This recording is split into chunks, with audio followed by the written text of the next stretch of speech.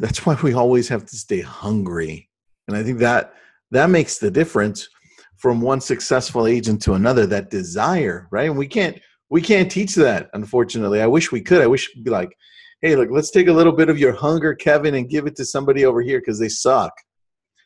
I know. It's and you know what it is? That i think it's it's hard to teach that but i think if it's some if it's for someone that doesn't have it, it they can be reminded of it you can you can be you can see others and and i mean it's some people have it and some people don't. I, I do believe that um, it can be it can be like shown. Someone can be shown the right path. Like someone can be shown the right way to go, and you can just follow the kind of like go through the motions. But at the end of the day, the foundation of all success and failure comes down to one thing. that's desire. If you look if you look at any successful person in business, anything like Tristan created the largest real estate Facebook group in the world. Do you think you had a little desire to do that, or right? I mean, like, did you not have any desire whatsoever? like, you had a lot of passion. I mean, there was a lot of desire there. So if, if if our whatever our goal is, if let's say our goal is to sell property, well, we need to be freaking motivated. We need to be like driven. That's like my that's my ultimate goal every single day. Is my focus every day is to grow my company.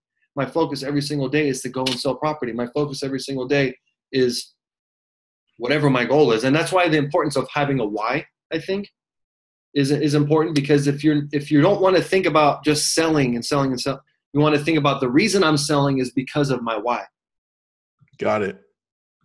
Right. That makes sense, dude. Well, I think a lot of a lot of the situations that we have with most agents, because most agents aren't successful, is they lose the they lose their why along the way and they lose the motivation. So I think it's important to to attend these events that are out there to kind of put you in the right direction again through through that why through that motivation right? Because motivation doesn't last. It, you, you need to continually renew it. And if you start off with the right motivation then we can go into this this is what what you're talking about the discovering the needs and providing that value because it's coming naturally from us. Because dude you you've called you've dialed. I mean jacob on my team he just dials all day right and it gets a little tiresome. So you need to have a, a huge why and you need to have that motivation. And we need to rekindle that often because it's not often that we have a lot of transactions on the table and we can get down on ourselves pretty easily. So if we start slipping on that mindset, the rest of the job gets even difficult, even more difficult. Right. And that's you're so tr- so true. That's why like attending events is important. Surrounding yourself with people that are like-minded that are positive is important regardless of whether they're in your business life or in your personal life. Negativity needs to be out. Because if you're focused if, you, if negativity is in, in, in your like in front of you while you're trying to accomplish your goal it's, it's going to be hmm. incredibly difficult to do that. Yeah. It comes down to four things it comes down to desire then it's implementation then it's then it's once you've implemented then when you have implementation, then there, you, have, you come across problems, right? So mm-hmm. at that point, it's will. So dealing with those problems, you've implemented. Now you have a challenge. Do you have the will to continue? Got it. And then, yeah. right? So those three things: desire, implementation, and willpower will get you where you want to go. And at the end of the day, like where you start getting to a crazy new level, mm-hmm skill and the talent comes in. So that's where going to events comes in. That's where going to learn, constantly learning comes in. So if you have those four things desire, ability to implement, willpower, and, and skill and talent that's an amazing combination right there. And those are some of the most successful people that I know, and I'm sure you know, Tristan. Yeah. Have those four things in place, and they're, you know, they're they're utilizing some of the best uh, processes out there in the industry. I agree, man. I totally agree with you. So let's talk about um, conversion. So, All right. So we're, you know, obviously a lot of the conversations that we're hearing about, and it's very, very important, is leveraging automation, technology, and and those are, of course, they're important. But the foundation, at the end of the day, it comes down to engagement with with another human being, right? Yeah. So, um, so that's like all, the goal of what we're trying to do is to get in front of people. I think sometimes we forget about that with all the tech and all the stuff that we're doing, all the lead generation, all the process, all the online stuff and tools and all this. I mean, at the end of the day, it's about connecting with a person. So we need to get good at those conversations to get us in front of people. So a lot of the mm-hmm. a lot of the mm-hmm. conversations start on the phone. And so let's talk about a, about an internet lead that comes in. A lot of us are using like Realtor.com and Google AdWords, Facebook. So, and many of those inquiries come in about particular properties. And this is something that you and I have talked about so many times: is don't get caught up on the in the trap Uh, on like whether the property is active or the property itself or is it pending? Is it you know the property that they've inquired about? That's just the carrot. That's just the that's the magnet that's the glue that's going to get you between that's going to get that's going to be in between you and the client so that so regardless of whether the property is pending if it's if it's active if it's not active it doesn't matter at the end of the day what we're trying to accomplish is to create a relationship to get in front of the person right so a lot of times we get caught up on oh it's pending i've heard it so many times mm-hmm. property's pending it's you know uh, didn't work out it's pending are, are you kidding me right? Like that, the prop doesn't. The, the property is just the magnet. So what what I I like to do whenever I talk to people, if mm-hmm. is pending, I'll say, hey, you know that property just you know was on, is is no longer on the market, but there are similar homes available in the area. I have some other similar properties available in the area, including some that maybe aren't online, right? That I can show you. Okay. You time to go and see, you know, something. So you always want to go for the appointment. And if the property is pending, I'll still show it. And when I'm at the property, I'll, I'll ask questions like, "What was it about this place is, on the, is not not available? But what, what I'm just want I'm curious. What was it about this home that attracted you? What was it about this home that got you interested in the first place? Because I'm going to help you find other ones that are similar to this, that we can you know we can get out there and look for more property. So the property is just um, is really just a magnet. So so try not to get caught up on that. Um, and even if a property is like like in some markets it's active contingent do you guys have that in your area active yeah we do so active contingent means that there's a chance the buyer could back out true right mm-hmm. so again i'm i'm happy to show those those those places and i'll always bring a couple extra with me so kevin yeah what happens i have a question what happens when you when they say i'm not interested in other properties i just want to see that one great let's go and take a look at it Let's go and take a look at it. Okay. I'd love to show it to you. What time do you want to go see it? What if you're not able to get into the property? So there's going to be some times where that's not an option. Um, mm-hmm.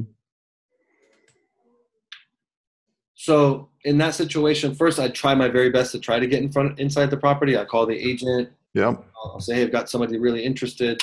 Um, and if you can't get into the property, I mean, it's you can't get in the property. So what I would say is look, that one's there's there's no way we can get in, mm-hmm. but I have one that's very very similar that's right around the corner, or I have something very very similar that I can show you if you if you're interested. I mean, it's if you can't get in, you can't get in, right? And what are you going to True. do?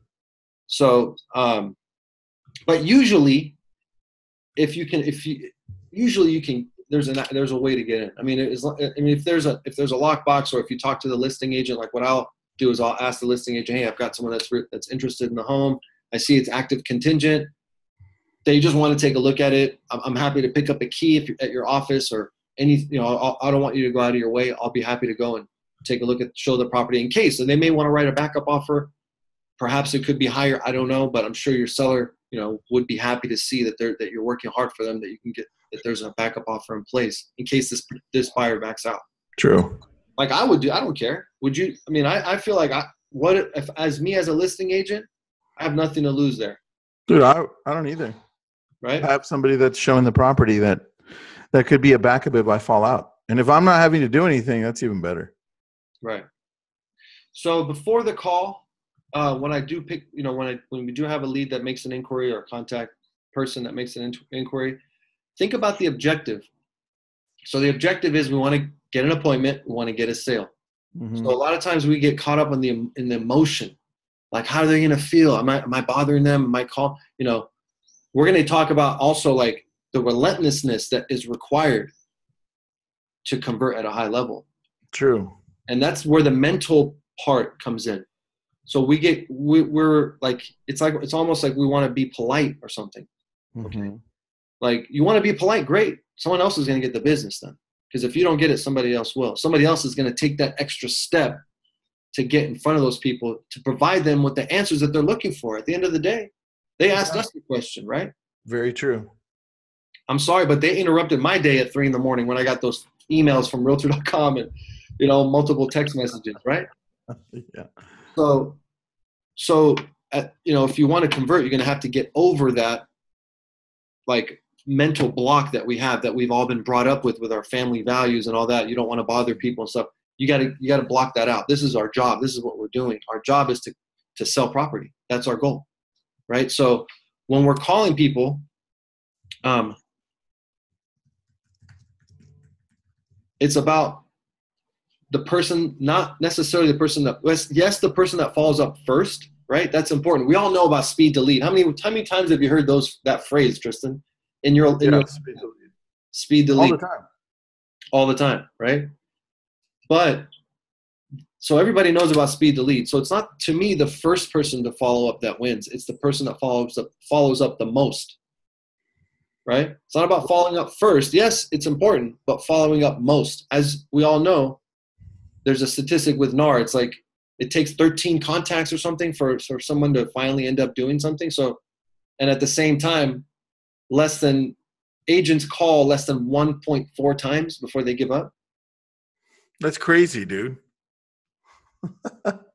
So, and then I think- right, so I think it has a lot to do with engagement too, right? The the attempts and then the engagement, because a lot of the times you just, as an agent, we're so used to just going to the next one and not creating that relationship when we're talking to them on the phone. Uh, whether that, whether or not they say, "Hey, look, I'm I'm not interested right now," or since I don't want to see this property, uh, since you don't have this property available, since that's the only one I want to see, I don't want to see anything else, and we can't get in, right? Uh, I think we're just we're just naturally naturally we tend to just want to hang up and be like, okay, no problem, right? Rather than just talk to them and see what else we can help them with, and then if if they do hang up, know that they may change their mind three weeks, four weeks, five weeks later. So it's important to continue to offer that value to them, right? What properties are out there? I think we easily just disengage with people that that aren't interested right now. And once we start realizing that most of the people that are out there are not interested right now, our mindset starts shifting and like, okay, so most of the people that we're going to talk to, over 95% of them or 98% of them aren't ready right now. And that's okay. Because I'm looking for the ones that are and I'm nurturing the ones that aren't. Right? totally. And I think part of it too is the emo- emotion part, where we kind of give up after that first call. We don't want to, you know, we like you said, it's like, oh, I just I don't want to bother you, or okay, great, it's done. Well, like you just have to, you have to get over that, like over that hump. Because I I've had it. I know I've experienced it many many many times. Like I just want to get off the phone. Like I'm done. I don't I don't like I'm so happy that they say they're not interested because I don't want to like keep pressing them. Yeah. But but I, I think if you look at it from a perspective of number one, this is just a job. This is what I do. This is part of what I do. And and I'm and I I look at it as I'm talking to these people, number one, they don't know me and I don't know them. Mm-hmm. I don't care if they judge me. All right. They're not even look I'm not even face to face with them. So I've got that to block block that humiliation factor. I think a lot of people like don't want to feel like they're that person, but what whatever that means. Um and then I also look at it like I just talked to them like I'm on the playground as a kid, as a friend. If I look at it from that perspective, um, it's a lot easier. And if you think about like if we all treated each other, if you if adults treated each other how kids treat each other at the playground, our lives would be so much easier. Like if I just if you know think about kids at a playground, they're they're on a slide or they're at the swing and they, they don't even they have no idea. They've never met each other. True. But yet they'll walk up and say, Hey, is that your toy? Can I play? That's because they haven't been rejected enough. Wait till they're 12. Right. right? That's hey, I have a question from Ashley. Yeah. What do you do when the lead comes in at midnight? Do you call, send a text, or wait until 8 a.m.? I'll send a text. Um, I'll send a text and I'll just say, hey, this is Kevin with Marker Real Estate, whatever. Saw that you inquired about a property. Are you available for a call or would you like me to call you tomorrow? I'm, I'm, I'm actually up right now. I can talk. So I've, act- I've called people. I know you have too, Tristan, late at night. Like I've called people really late at night. we have. so true. uh, and, and the responses are actually like, wow, like Yeah. positive. So you'd be surprised. And and we're talking about this relentless fo- relentless follow up. A lot of times we feel like we don't want to do that because we don't want to upset people, and then we don't want to have that emotional rejection feeling, right? Which is why we avoid it. But um, most of the responses are actually positive. The two most common responses I get when I call people a hundred times is Mhm. either sorry, oh sorry, I'm so sorry I didn't get back to you. I know you've been trying to reach me. I've been busy. Sorry about that. Or thank you. Oh, thank you so much for staying in touch. Thanks for your follow. I really appreciate your follow up. Very rarely, That's very true, dude. That's what we've noticed. You're right on. and once in a while, you might get that person that says, "Don't call me anymore," or they'll respond to your text like, "Take me off your list." Okay, next. You know, it's okay. That's it.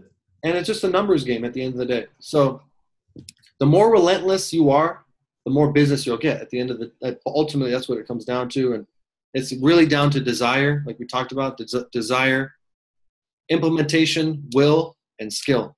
Four things. So here's kind of my process that I've I've used and I've kind of adjusted over time. Um, so if you call and they don't answer, always call right back Yep. and, uh, and I've even now like started playing with calling back a third time. Um, so call, call back. They don't answer. Call back a third time. I don't leave a voice message Mm-hmm. on those three calls. Okay. Um, I do send a text, and when I send the text, I, I, I always reference the call. Me too. So it's like, hey, it's Kevin. Saw that you inquired about blah blah blah. Um, just sent you. I just I just called you. Are you available? Something like that.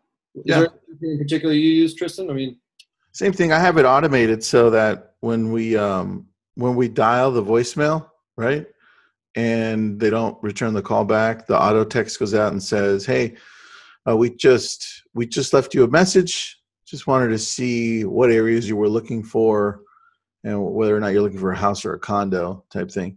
And then we're also calling through Agentology and Jacob's calling too. So between everybody calling, uh, I always tell them not to leave messages the first round, the whole first round, because one voicemail has already been dropped and left.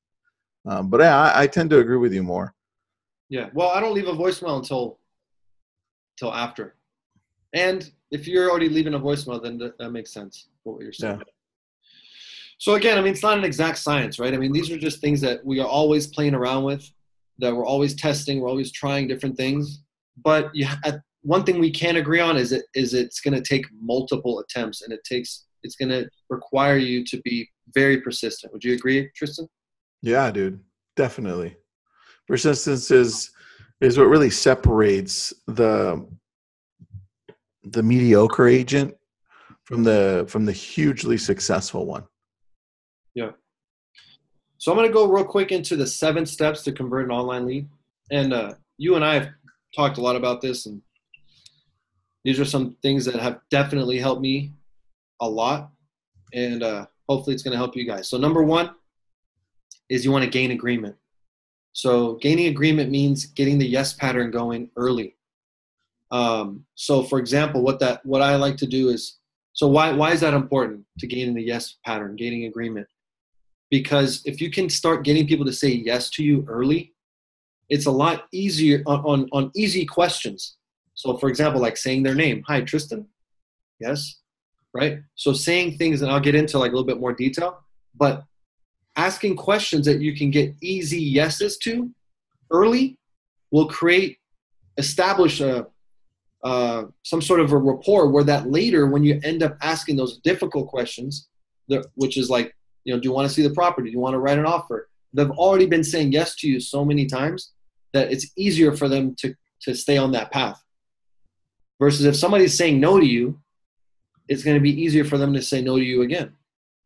So that's why even in personal relationships, like I'm always just trying to get people to agree with me, because then I get I get my way, and I, and I find that it's important in relationships and not just business and personal relationships too. So getting people to like agree with you, easy on when you're asking easy questions is a lot. It, it, it creates increase the likelihood that they're going to agree with you on the difficult ones. I agree. Let's get into this real quick, and then uh, we can wrap it up. So seven steps to converting an online lead. Number one, gain agreement. How do we do that? Number one, when they answer the phone, the first thing I say is I say their name. Hi, Tristan. Yes. Yep. Tristan, Kevin with Marker Real Estate. I saw that you just inquired about 123 Main Street in San Francisco. Are you kind of thinking about a three bedroom in that neighborhood? And so, again, I asked the question Are you kind of thinking about a three bedroom home in that neighborhood or in Pacific Heights or whatever? I ask a question that I know they're going to say yes to because the property that they inquired on is a three bedroom. So, right? So I'm going to use the information that I have to help me gain agreement. So if you see they inquired about a single family home in Pacific Heights, use it. Use that. Are you are you thinking about a single family home, buying a single family home in Pacific Heights? Yes. Right? I wouldn't say are you thinking about buying a home in New York when they just inquired about one in San Francisco? Obviously. So try to gain a cre- agreement. Answer, ask questions that you know you're going to get the yes to, so that way you can help yourself later. Number two is set the appointment. So always set the appointment first. So thinking about a three bedroom in the neighborhood. I saw you inquired about one two three Main Street. Yes, great. Do you want to set up a time to take a look at it? I'm available tomorrow or later today. When, when's a when's a good time for you? So try to set the appointment early. And if you can't get the appointment, that's okay. You can continue. You can move on. You don't have to like press hard to try to get the appointment. Okay, because you don't want to make the awkward. You don't want to make the, an awkward situation. You just want yeah. you want to kind of just keep it rolling, keep it moving. You're easy, easy going right? So if they say, "Oh, I'm not available," okay, no problem. What was it about that home that you're interested in? What caught your attention? Are you kind of thinking about a three bedroom? Would you consider other areas? So number three, find out what's important. Find out what their pain points are. Find out why they're moving. Find out, you know, what it is, what's important to them, and then repeat it back to them. Right? So you're repeating it back to them. You're acknowledging that number one, you're listening. You're acknowledging what they're saying, mm-hmm. and uh, you're letting them know that you're paying attention and you're listening. You're you're you're ready to you know, help them. Um, and also, don't be a robot either, right? You don't want to sound mechanical. A lot of us use scripts. Scripts are great, but you don't want to sound like you're reading off a script. Because if you sound, I think, you sound I think the challenge on that is is let's say you and I are repetitively calling for like two hours straight, and we get into this rhythm, but we also get into the we get into a good rhythm and we also get into a bad rhythm where we start saying the same thing over and over again, right? And that's where we start sounding a little monotonous, a little a little bit automatic, and that's not always good, right? So I like to solve that problem by standing up. Usually I have one of those stand-up desks, right? I have music, so it's always keeping me moving, and I like to take breaks in between. So like for instance, with Jacob, I know that he's got a tough job, so I tell him to he can have breaks at any time that he wants. There's no like set time. He can take 40 breaks. I don't care. right? He really he can. And the thing is just to stay in that rhythm, uh, in the good rhythm, to just get out of that automation because totally. it hurts you when you're talking to people. Totally. I, I agree with that 100%. And I usually when I take breaks is for me is when I get when something good happens, or when something oh. where something bad happens too. Okay. So and when I start noticing myself, like you're saying, like I start noticing myself as becoming a uh, more robotic, I'll take a break. Yeah. I agree.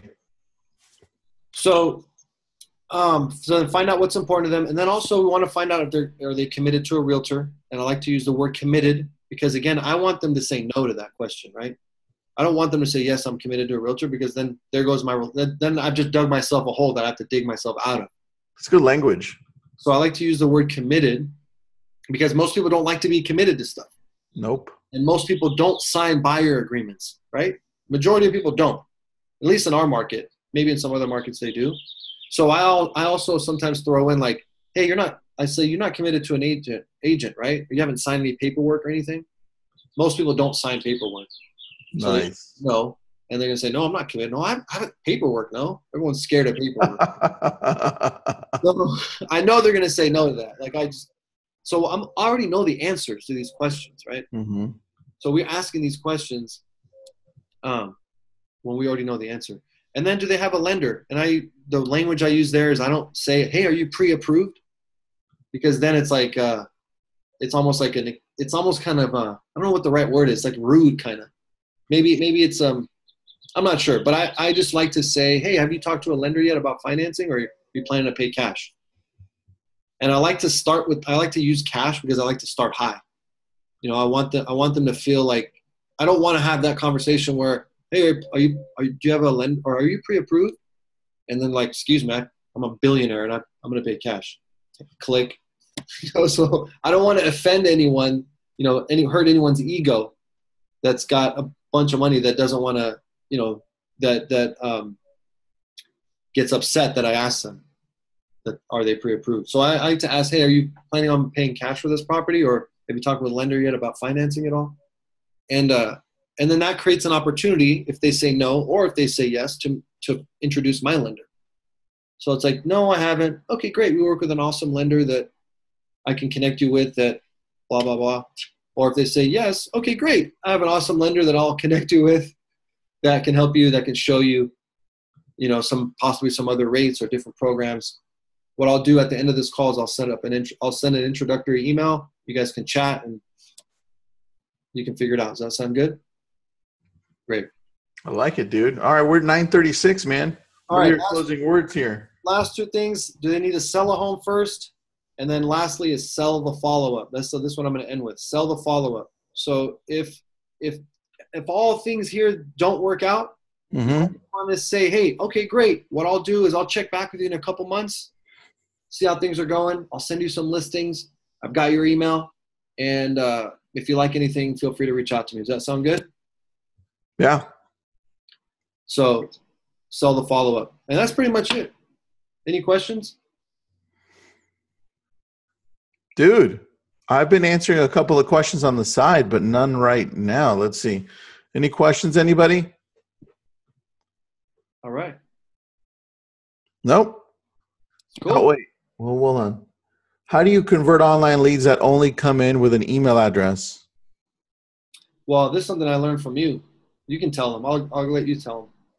No, What do you tell them. What do you do? No, you tell them. What do you do? Uh, all right, all right, all right. Uh, I do a few things. Uh, number one is we check to see if the email address has uh, is on iMessenger if it's connected to their iPhone, and if it is, great. That's awesome. You can even dial it through uh, voice as well through iMessenger through um, what's that FaceTime FaceTime audio. So if that doesn't work, then what we do is we obviously email them, but we also put in the email in Google to see if it pops up any name, any cell phone number, and in some cases, in some areas that we work in, uh, that email is tied to their business and it gives us their business phone number and their business name. So I'll always do that as well. And then we also use Spokeo. Spokeo is something that allows you to search up information for people and it's something that's super inexpensive. It ends up being like four bucks a month. Um, but what do you do, Kevin? Yeah, I, I, use those, and that those tools that you mentioned are really good. I um, I'll take their email and you like what you just just said, but I'm gonna kind of get more detailed. Is take their email, copy it, put it, create a text message, and then paste their email. Where is it? Paste their email right there. And if it turns blue, that means they have iMessage. And when you send them an email with their email, or you send them a text with their email, it'll actually show up as a text. So then you can get their phone number. Yep. So that's basically that's basically what I do. And then of course, like we'll send them an email and try to set up a call. And I always try to set uh, an appointment for a phone call. I And agree. One last thing I was going to say on appointments when we're setting appointments with online leads, the the further out the appointment, the lower the chance they're going to show up. Okay, so if you set if you set an appointment today for two weeks from now and you never call them again, there's a probably a high chance you're not going to see those people. They're not going to show up. So if you do set an appointment from for a long period of time, of two weeks or a week out, make mm-hmm. sure you're make sure you're touching base with them. Make sure you're sending them stuff. Make sure you're texting them and reminding them about the appointment, confirming it, and also providing them with information so you can stay top of mind with them so they remember the appointment. Because if you just send a, set up an appointment, especially if it's on email, you've never even talked to them on the phone. There's no connection there. So so try, try to set appointments early, like that day, or like next day, or the shorter the time frame frame, the better. And if you do set a long period of appointment, make sure you're following up throughout that time frame. Here's what here's what we do. Uh, so, sorry. Here's what I do because not everybody on the team does this. So. what I do when I talk to someone that says they're not interested now, we've left it where in my mind I need to nurture them or follow up with them at a later time. The first thing I do is as soon as I hang up in the notes and the reminder, I put to remind me to call them again at the time that I usually make calls. I don't randomly put it at three or five or seven or 11. I put it in the time slot that I have that I know I'm going to be making calls at that time. So I know that it's going to happen, right? Number one. Number two is I text them as soon as I'm done. I text them and I say, Hey, Kevin, thanks for talking to me. I really appreciate it. If you need anything in between now when I talk to you again, I'm Tristan. That's it. I left it. Now they remember me again. Great. And it just, it nudges them a little bit more so that in their mind, when I call them three, four, five weeks from now, there's a higher chance that they're going to remember me, right? Really smart. So that's what I do. Awesome, man. Cool, buddy. I think that's it. Any other questions? No? Awesome, man. Great call. Thank you, guys. Have a Thanks, Kevin. Until next time. Bye, guys. Bye.